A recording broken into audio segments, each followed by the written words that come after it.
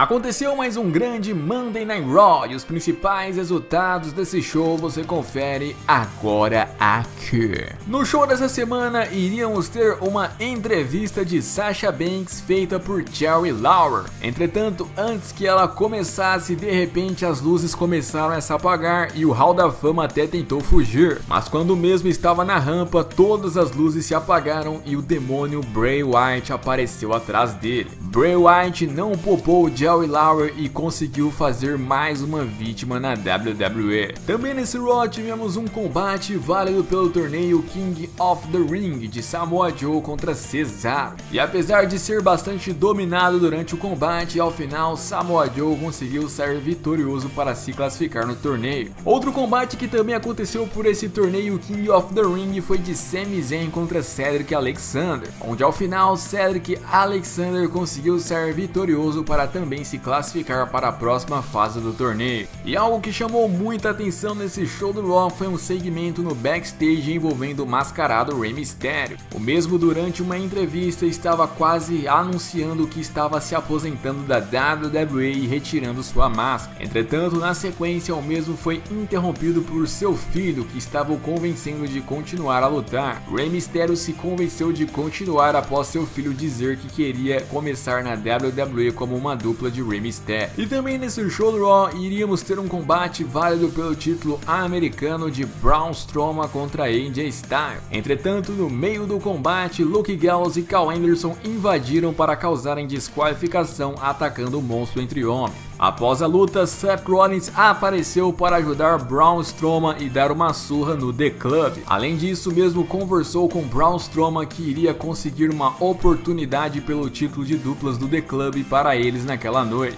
E mais tarde, de fato, Seth Rollins e Braun Strowman lutaram pelo título de duplas do Raw contra Luke Gallows e Cal Anderson, onde ao final, após um combate bastante emocionante, Braun Strowman e Seth Rollins conseguiram sair vitoriosos. Dessa forma, agora os dois são os novos campeões de duplas do Raw, Braun Strowman e Seth Rollins, que também tem o título universal.